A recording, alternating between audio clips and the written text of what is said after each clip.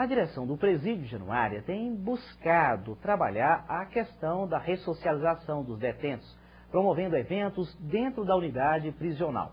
O último acontecimento foi um torneio de futsal que reuniu diversos convidados.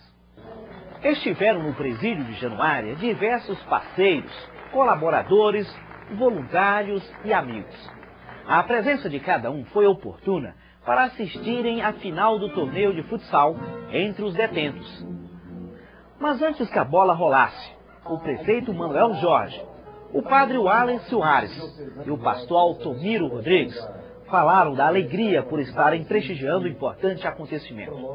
O detento Arley fez a leitura da Bíblia e o cantor Betinho foi convidado para interpretar uma conhecida música.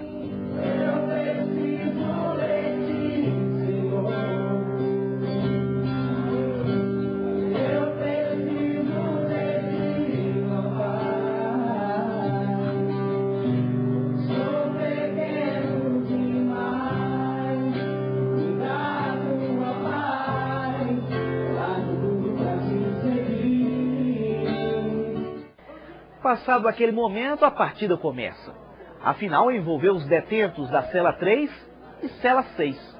Os presos atletas batizaram os times com os nomes Conquistando a Vitória e São Francisco. Familiares também compareceram para prestigiar. Após 30 minutos de disputado duelo, empate em 2 a 2. E nos pênaltis, claro, sem goleiro, vitória dos detentos da cela 6 conquistando a vitória. Conquistando com, com muita força, com muita garra, nós garantimos, não é à toa que o nosso time chama, chama Conquistando a Vitória, que nós lutamos e conseguimos o troféu e também a, a direção nós agradecemos aí por tudo que está fazendo esse torneio por nós aí. E assim nós agradecemos todos, todos, todo mundo aí que está fazendo isso por nós aí. Mas nós o nome foi conquistando a vitória e nós conquistamos a vitória mesmo. E também mandando um abraço pro meu filho aí. Para nós foi muito bom esse evento acontecer aqui, mais uma vez. Já duas vezes que participo desse campeonato aqui nesse presídio a primeira vez nós fomos campeão e agora nós ficamos em segundo lugar. É muito bom para nós esse evento aqui, porque ajuda muito nós a distrair também, não só ficar na cela. E para nós mostrar também que nós também pode se recuperar também e mostrar para todos também que nós também somos cidadãos de bem também. Apesar que nós erramos, mas estamos pagando, vamos sair de cabeça erguida e dar a volta por cima. A direção do presídio realizou a entrega de toda a premiação oferecida pela Secretaria Municipal de Esportes. O time de Denis não venceu o torneio, mas ele ganhou uma Bíblia presente que eu acabo de receber é o que Deus está no meu coração, com o coração de todos. No lugar que nós se encontramos, não é muito fácil, mas nós superamos isso com Deus. E aqui não é sobrevivência nossa aqui, é de a cabeça, né? Sair para a sociedade aí, gerar, com a mente no lugar, trabalhar, ir para a igreja, entendeu? Levar o Senhor Jesus Cristo, entendeu? E parar com essa vida, que essa vida não leva ninguém, não não leva nada para ninguém, entendeu? E logo logo nós Aí vai gerar na sociedade aí, vai mostrar que nós somos uma boa pessoa também, para parar com essa vida errada aí, seguir uma vida boa. Eu acho esse trabalho muito bonito e é muito importante para eles aqui dentro, né? Que é um, assim, um evento muito bom. E eu acompanhei também a festa do Dia das Mães, é um trabalho muito maravilhoso. Para a direção do presídio e quem mais uma vez idealizou o torneio esportivo, este é mais um projeto de ressocialização. Foram três torneio que houve aqui na unidade. Né? E o objetivo é, é a ressocialização dos presos que tem nessa unidade.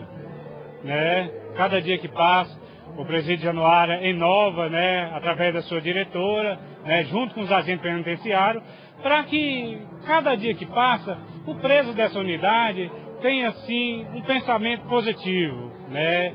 A gente busca não só o custodiado, também a família do preso, passar para a sociedade que januária que, que tem que mudar, mudar essa história. Este é um dos projetos que nós aqui do Presídio Januária, a direção promove aos custodiados, né, que é, é uma é uma parte que a gente está trabalhando muito, é a questão de projetos voltados para a ressocialização, tanto como esporte, lazer, cultura, religião, para desenvolver tudo isso para que eles se sintam é, é, integrantes da sociedade, se sintam pessoas dignas né, de respeito, de direitos, e isso nós estamos tentando, o máximo, é, levar para eles e para as famílias, que eles estão aqui apenas por alguns momentos. Nós sabemos que isso que a gente promove aqui está, está beneficiando na, na questão de ressocialização para o preso e especialmente junto com a comunidade que nos dá esse suporte.